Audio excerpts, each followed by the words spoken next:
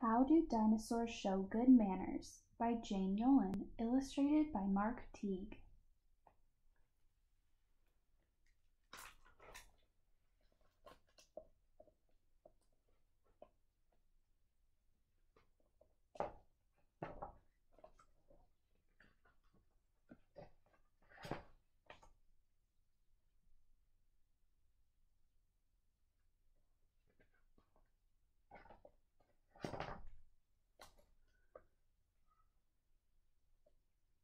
What if a dinosaur won't be polite? Maybe burps at the table and starts a food fight.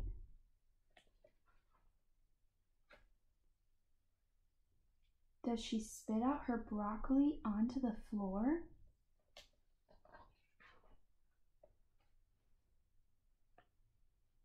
Does he shout, I hate meatloaf, while slamming the door? Does a dinosaur know what the word please is for?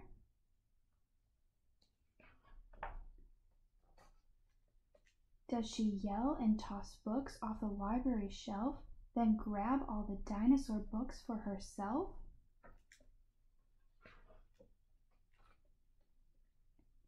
Does he bully his friends, push them off the big slide? Does he tell baby brother no piggyback ride?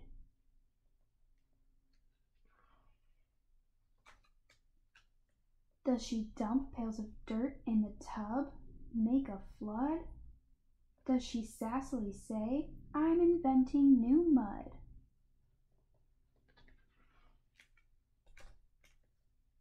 No, dinosaurs don't. They're never that crude. They're always polite and try not to be rude. They say please and thank you. I'll clean up that dirt. Excuse me for burping. I'll help when you're hurt.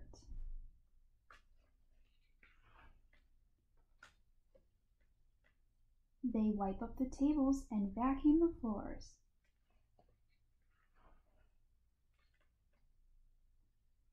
They share all the books and they never slam doors. He and his friends all take turns down the slide. He gives baby brother a big piggyback ride. And after each gift or a favor's been done, each one's politely says, Thanks, thanks everyone. Good manners galore, my polite dinosaur. The end.